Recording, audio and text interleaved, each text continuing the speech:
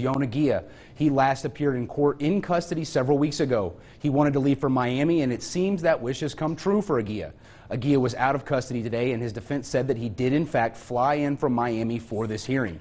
His defense asked for extra time as Aguia has a new lawyer on this case. The defense also brought up the difficulties due to both language and geographical barriers, with Aguia res residing in Florida now.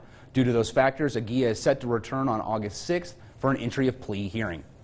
Law enforcement made contact with Aguia back in March on South 21 and a half Road in Mesa County. During this contact, agents found over 120 cannabis plants. But according to the affidavit in this arrest, agents were not able to locate any ready for sale cannabis at this address.